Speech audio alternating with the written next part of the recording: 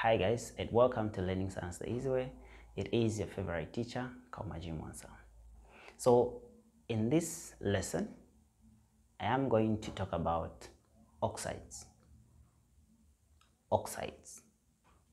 So we have to understand what an oxide is and what are some of the types of oxides.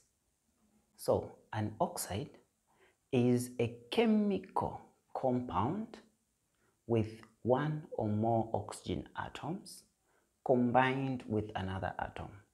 For example, carbon dioxide, carbon monoxide, dihydrogen oxide, lithium oxide, calcium oxide, sodium oxide. There are quite a number of oxides. So here we are saying, if for instance we say uh, Ag is the carbon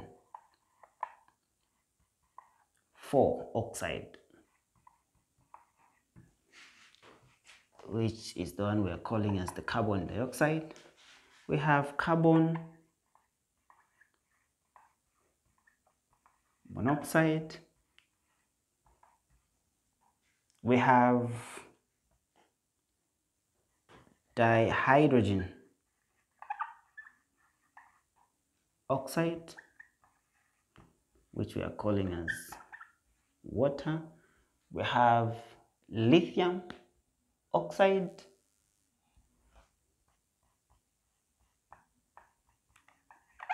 Lithium. Oxide. So there are quite a number of oxides now. So we look at the classifications of oxides. So basically the classification of um, oxides depends on the properties that an oxide is able to show when reacted with water or when dissolved in water. So one of the examples or one of the classification is that their oxides are said to be neutral oxides. Neutral oxides. So the neutral oxides, these are oxides which are neither acidic nor basic. So these oxides are neither acidic nor basic, meaning they do not show any acidic properties or any basic properties when dissolved in, in water. E.g.,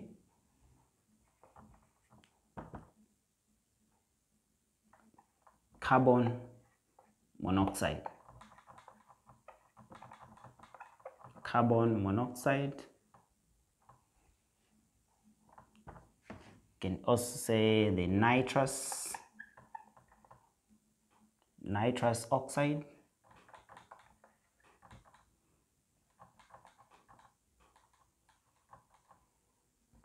another one is nitric oxide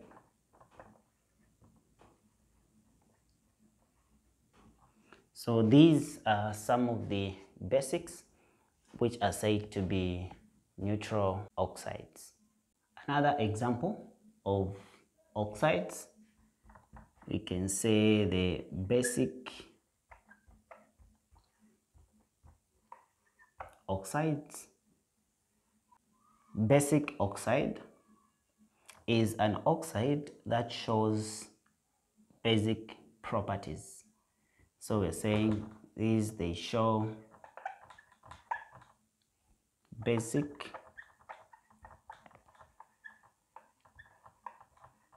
properties.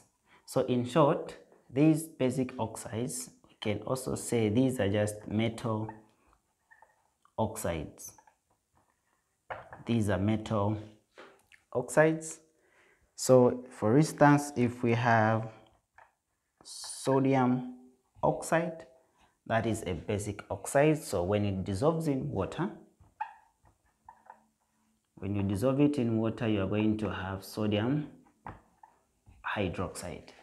So the basic oxides they are able to dissolve in water to form an alkali.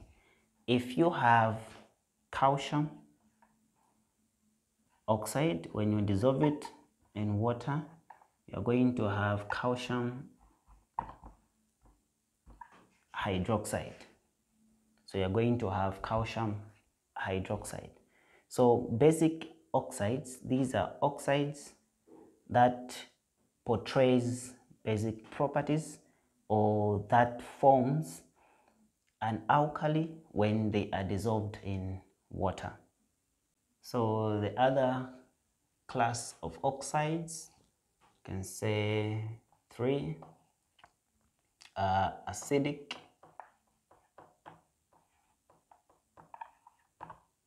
oxides. So the acidic oxides show acidic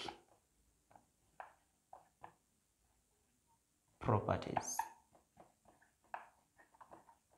They show acidic properties. At the same time, these oxides, we can say these are oxides of nonmetals. These are oxides of nonmetals. So now, if we have the oxides of nonmetals, in short, we are saying when these oxides of nonmetals dissolve in water, they are going to form an acidic solution. For example, if you have carbon dioxide. When carbon dioxide dissolves in water, you're going to have carbonic acid. When it dissolves in water, you're going to have carbonic acid. So you have the carbonic acid. Then you have the sulfur dioxide sulfur dioxide, which when you dissolve in water, you are going to have sulfurous acid. Sulfurous acid. So you have, and at the same time, if you have nitrogen dioxide, you have nitric acid. So the other one is um, amphoteric